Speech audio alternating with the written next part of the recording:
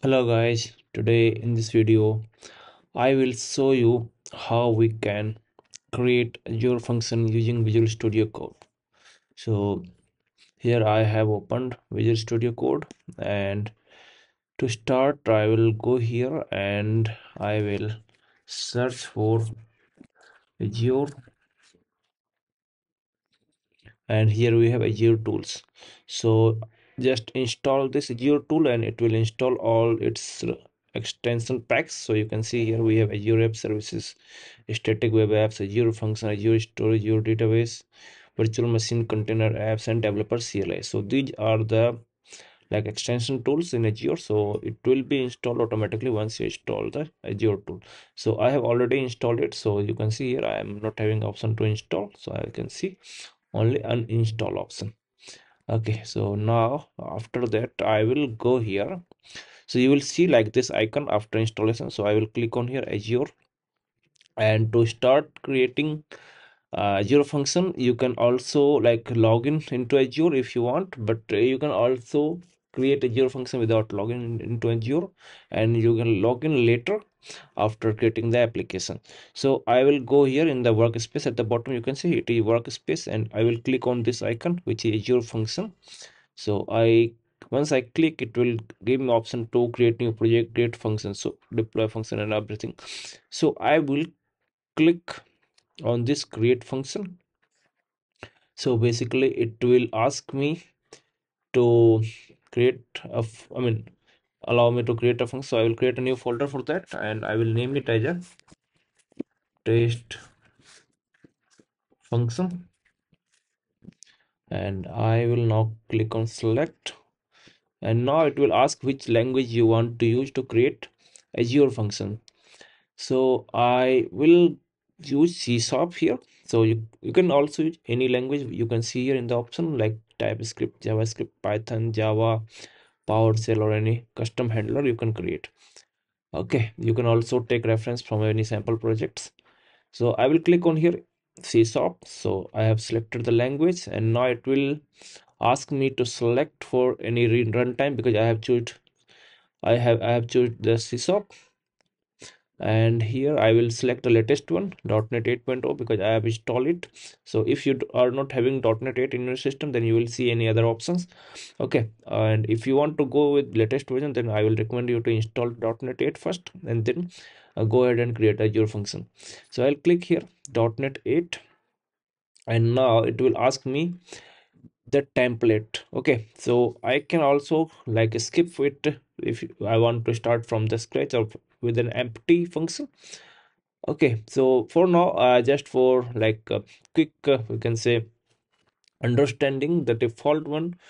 I mean there is no default one. You can use any one but i will choose here http trigger to accept the http request from the postman or any any server basically any like any client. So i will click on here http trigger and here it is asking me to provide the name of the azure function. So i will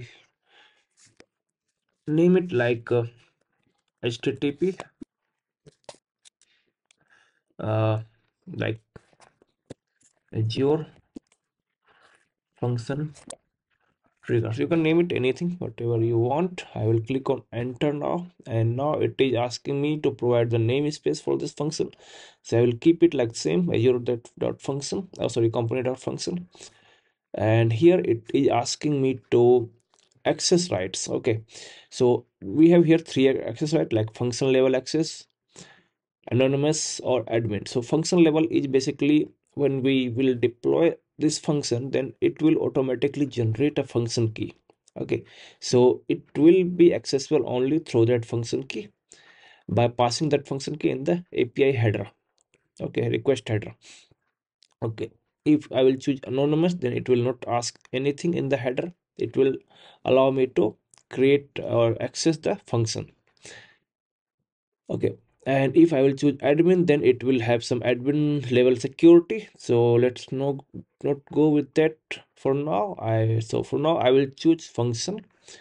Okay so i will select here. And now it is asking whether i want to open this project in the current window or new window or i want to add into the like uh, the same workspace. So I will do for now I will open it in the current window.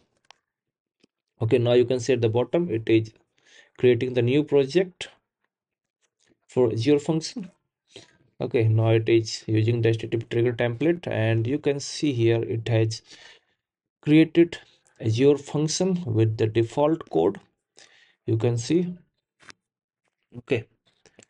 So these are the default return code and you can see this is a namespace. It is provided it has already added a logger by default.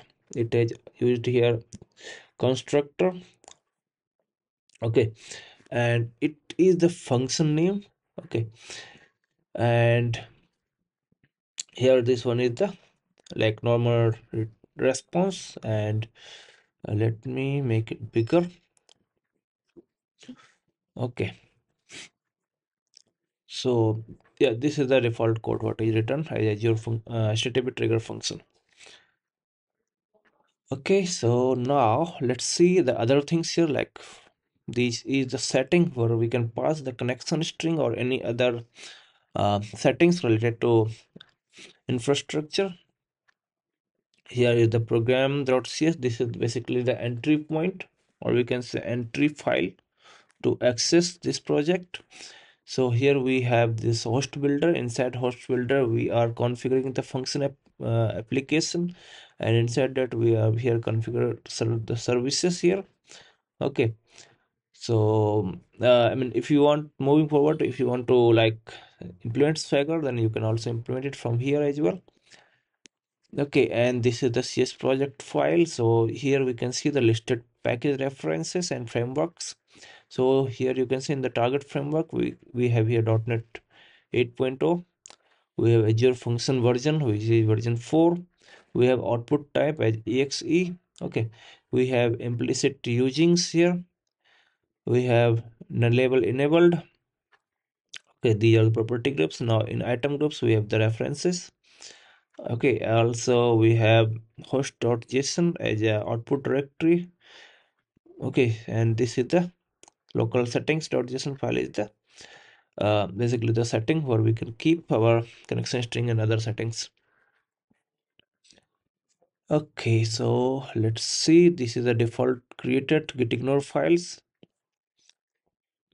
and this is the hosting.host.json file which will help me to host our application. Okay so this is the main program file. Or we can say the function azure function.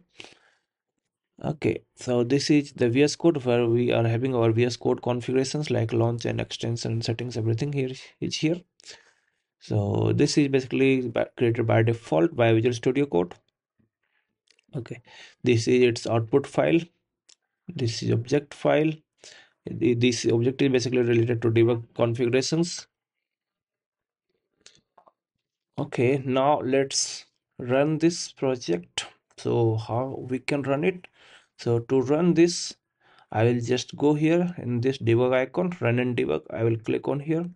And here you can see it is taking automatically as uh, attached to .NET function debugger okay. So i will just click on this green button green play button to start the function. Okay and let it run. Okay and meanwhile i will also start here postman. So i have my postman opened here. So this is the new request. So i will get my url here. So this is the url you can see localhost 7071 api and this is the function name. So i'll copy this and i'll put it here in the get type of url and here i will not require any header because uh, this is local so it will not not require any header to pass here. Okay so now what i will do i will put a breakpoint here at line number 19 and here i will click on send button. And you can see it has come here in the uh, in the basically in the azure function. Okay and it is currently accepting two type of request get as well as post. So I will just click on continue here. And you can see I got the response. Welcome to Azure function. Okay which is coming from here. Okay the same API can be called as post as well. So I will click on here and click on post. I will click on any but uh, we are not going to do anything with the data but yeah just for the testing purpose I will put here uh, but uh, we are not going to do anything. Test data okay I will click on send here and you can see again it is coming by the post method as well.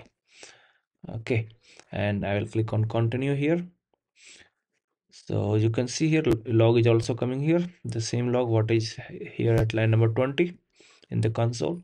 And we can see here the response. We as we are not using currently the response but yeah, still we can see the uh i mean I, we are not currently using this post data but here we can see the response okay so uh, i hope you got the idea how you can start creating the azure function with the without having any you can say having any azure account. You can start it for, uh, just for learning purpose from your local but uh, if you want to publish it then you can uh, log in into the i mean into the azure here. First let me stop this to publish it you can go here into azure and you can here uh, get the sign into azure or create. If you don't have any account then you can also create the account in azure. And from there you will get the uh, basically the resources and to publish it you can basically like uh, publish like uh, you can publish it by clicking on this Azure function and you have this deploy through function app. Okay. So you can you can see it. Once I clicked on that it is asking me to sign into Azure to, to start the deployment process.